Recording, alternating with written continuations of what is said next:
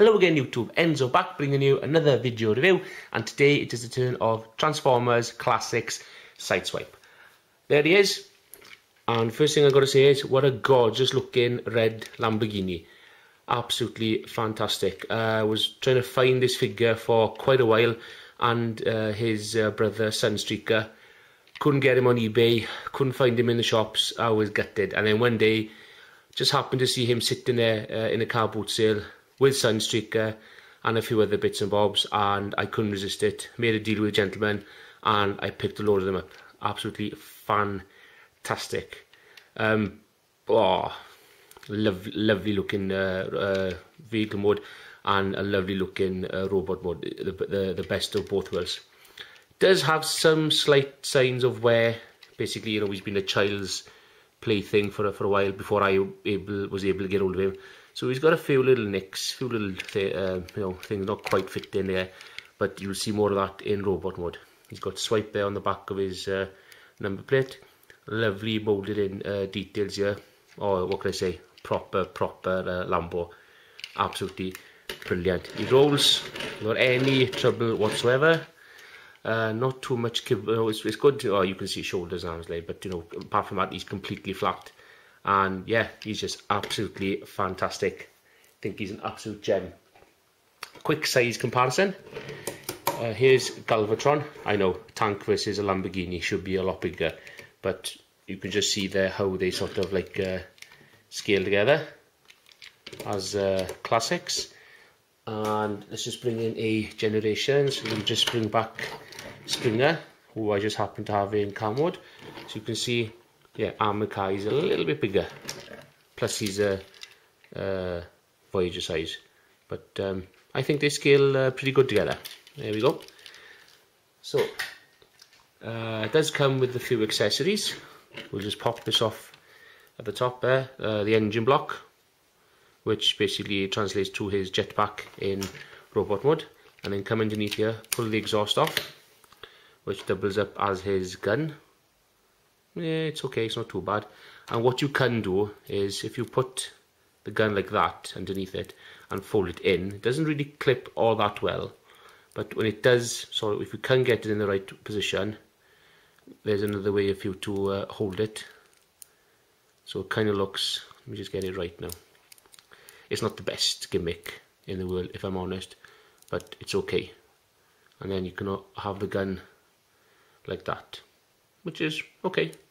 But I prefer to have him just holding the pistol and have this as a backpack. So there we are. So transformation into robot mode is you want to split the rear of the car like that, like so. And this bit requires quite a bit of force, so don't be scared about breaking it, but obviously just be careful when you do it at the same time. You need to basically wiggle it apart till you get the panels free, and then just fold everything out sometimes I think this is where most of the damage has been caused by the previous owner or the child or whoever else was, was using or had this figure before me. So just basically fold everything out and he is quite stiff which is a good thing. So just fold everything out like that and then you've got the legs. Just make sure that those bumpers are well out of the way. Turn the figure around like that so the wheels and the bumper are facing you like that and this is where you need nails I haven't got nails so I'm using a screwdriver. The feet are in here. So just try and get an angle. What you're supposed to do is you're supposed to pull down on these little white tabs pull it out. Uh, I've tried I can't get them so I've tried and tried and tried. So I'm just going to use this little screwdriver just to give me a little bit of uh, um, clearance there. And then I can just reach in and pull out the feet and point them the right way. Same again on this side. Let me just get in there with a the tool fold it out. Lovely. Set that off to the side. Bring him down. Just got to watch because there's a lot there's a lot of molded in detail in there. And then once you get everything out bring the knee pads forward orientate the feet forward like that. And that's uh, the lower half of Sideswipe. Then what you want to do is rotate them at the waist. Bring them all the way around like that. Grab the top end of the vehicle and pull it grab, grab his waist, grab the top and just pull it straight out like that. Then you can start by folding out the arms. Just basically pull everything out, just just pull them all out so the wheels go inside like that. Just pull them out like that. There we go. Job done. And then straighten everything out. Why are you not uh, there we go. Make sure everything's out like that. Then fold up this little part there just to give yourself a bit of room because that'll be his waist. Um, you're on a hinge hinges everywhere really. So you want to fold that down like that and then fold the front of the car in till it pegs into place like that. And then just rotate the shoulders up. They're on these little swivels like that. Just rotate it up like that and then straighten out the arms. And the door panels are on hinges and levers so you can have these any way you want. Uh, I personally prefer to bring them up like that push them in make sure the fist is facing the right way. Same again with this side just bring it around swing the door panel around push it in make sure the fist is facing the right way and that's it. And then for the last reveal grab out of the back spin it around which I think is cool and then one two three da, da, da. there is a Sideswipe in robot mode. And I think you'll all agree he looks absolutely freaking cool. Very very very cool. I like this figure a hell of a lot. I tried to track him down. I don't know how long it took me but I got him and when I got him and I had him in hand I thought oh yes I like this one. And then you would just take uh, the backpack and tab it in there like ah, that close it down. So that lad has his jetpack. And then you just put the pistol in hand. And there we go. And if you've got the fans project g3 trailer which i do you also get this little bonus accessory which is his chrome missile launcher and there's two holes at the top. You can basically plug him in anywhere you want so i'll plug him in there for now. And there we go. That is sideswipe in robot mode absolutely awesome. Absolutely cool. I cannot recommend this figure enough. If you can get it get it. You will not be disappointed. He's brilliant. Anybody now who's had the g1 either sunstreaker sideswipe or red alert? Because there's three different molds um, versions of this mold and they're all completely different. You will not be disappointed brilliant. I do apologise if you can see some dust on him. Yeah, he has been in storage, as I've said, but still, absolutely cool. I mean, that head sculpt is just gorgeous. That's just screaming sideswipe. That's just screaming. Oh, I just think it's brilliant. Out of all the classics, I think that is the best head sculpt I have seen. And a nice big Autobot symbol there right on his chest. Brilliant. Absolutely brilliant figure. Um, head is on a ball joint. So, and again, I, I still waiting for my for my light, but I hope you can see that a little bit there now. I mean, his blue eyes do light up. If you've got a good light source, bang, just super super blue. Looks absolutely brilliant. Um, you can see a little bit of damage in there compared to the other shoulder. There's more plastic on this side than there is on this side because that's why this arm feels a lot more looser and this arm feels a lot more tighter. But still, it's a, it's a cracking figure, cracking figure. Anyway, Head on a ball joint can move like that. Ball joint is shoulders, so they can move all over the place unhindered. Um, that's as far as they're going to go in and out. Not too bad. They've got a mushroom cap uh, upper bicep swivel for the transformation. You've got a double uh, joint in the elbow there, so he can do, you can basically almost touch his own shoulder, which is cool. Uh, the wrists, mushroom caps again, so they can swivel, which is a good thing because um, on uh. Basically, well, I'll do the Sunstreaker review now at a later date, but I'll show you basically what, what I mean by, you know, why why it's necessary for to have the um, wrists being able to move. Uh, waist articulation, yep, you can go all the way down like that. Um, this panel can move, it's on a hinge up the top there, so it can move it, so it's not hindered at all. So good waist articulation there.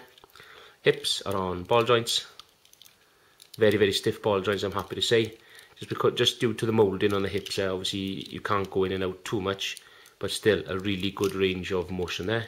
You can bend at the knee there's a lower thigh swivel which is cool and then ball jointed feet and a little bit of an ankle tilt there just due to the transformation. So you're to get if you want to get some really good action poses you can he's not gonna if you long, long as you get him right he's gonna get him in a good action pose and he is gonna stay there. You know you can even almost reach his missile launcher so I think that's a really good action pose there. Um, ah, just just just just a brilliant figure just a really good figure all, all around I mean just just get him if you can get just get him. I, I, I can't recommend this figure enough to he's just awesome. Uh, quick uh, comparison. Let's uh, bring in uh, Cyclonus. So you can have a good look at these two together. Um, I would say Sideswipe's just a little bit bigger than him. I know I, the bending and knees are in poses, but I think generally overall, I think Sideswipe is the bigger, definitely the bulkier figure. Um, he might even be a hair taller. If I'm wrong, I'm wrong, but I think he might be a little bit hair taller. But still, absolutely cracking figure to have. And just one more comparison. Uh, let's bring in Fans Projects uh, Munitioner, aka Swindle. So you can see basically this is a Hasbro Deluxe and this is a Fans Project uh, Deluxe. So uh, yeah, um, I would have liked it if uh, you know Swindle was a little bit bigger, but hey, you know, never mind. Ideally they should be the same, but when he combines into Bruticus, hey, I'm not going to complain. So there's that comparison as well. Um, figure. I love the details, uh, the blue eyes, and he's got the blue on the hips uh, with, the white as well. All the colours work well together. That head sculpt is just absolutely gorgeous. I love it. That is Sideswipe. Absolutely brilliant. Lots of articulation. The figure feels absolutely solid in hand. Um, there's no, no no much there's no uh, backpack things like that and you can you don't have to have these on you can you can take it off if you want but uh, I prefer him to have his jetpack, so I just leave it on there like that. doesn't matter if you lose his part, if you lose it, it doesn't, doesn't hinder anything at all. You know, but I think that looks absolutely gorgeous. Very, very good figure and a super, super upgrade uh, and a really good, nice take, a nice modern take on the classics G1 sideswipe. So, yeah, if you can get him, get him. I highly recommend this figure to you. He is fantastic. Playability is good. Uh, the transformation is, is um, satisfying as well. Um, there's all different things you can do with these panels. You can move them around to have them wherever you want. Absolutely um, uh, amazing figure. He is cool. The only thing I'm not too keen about is the gaps here. But I can, they're there for the transformations. You can fold it up, so it's not too much of a of a, of a deal breaker. And he just looks absolutely cool. Very, very, very cool. So that's my review of Transformers Classics uh, Sideswipe. So thank you very much for watching, ladies and gentlemen. Uh, Please comment, rate and subscribe. If there is anything out there you'd like me to review, review on the Classics line, please drop me a comment, let me know, and I will get onto that as soon as possible. Um, I've just ordered Fans Projects Columpio because I'm going to start collecting the Dinobots next now because um, I think they fit in really well with the Classics line and I've also ordered Generations uh, Roadbuster as well, so I'm hoping to bring those reviews to you uh, in the next uh, week or so. So again, thank you very much, thanks for watching, and I will see you all again soon. Thank you, ta-da.